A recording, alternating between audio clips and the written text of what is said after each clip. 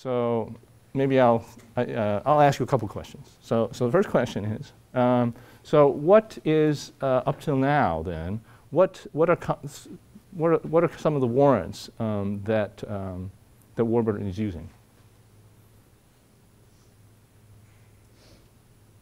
Yes?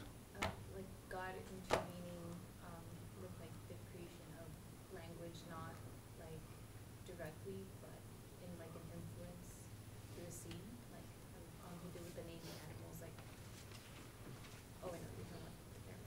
No, that's good. No, so, so he's saying that there's, uh, there's a sense in which when we read the Bible talking about nature, um, we have to read it as God somehow intervening in nature, right? And that's how we can sort of understand what's going on, right? We can't just read it as sort of straight literal history. We have to read it in terms of God's effect in the world.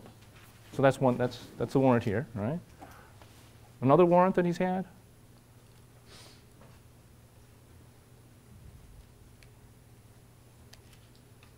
Yes. For uh, the Collins one, the warrant is that um, everything in the Bible must be read as literal and historical. Okay, so he's, he's, he's giving us war, uh, Collins's warrant, which is everything in the Bible has to be li- read literally and historically. Good, all right?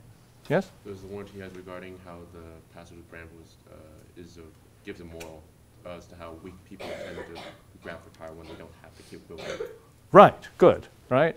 Um, so he had this warrant about how um, the, the brambles are an explanation for how uh, weak people want to, want to rule even though they don't, they don't have the, the capability, right? Uh, and, and the warrant was kind of complicated in which he was sort of explaining the way in which um, the brambles um, don't have this power that they are uh, imputing to themselves, right?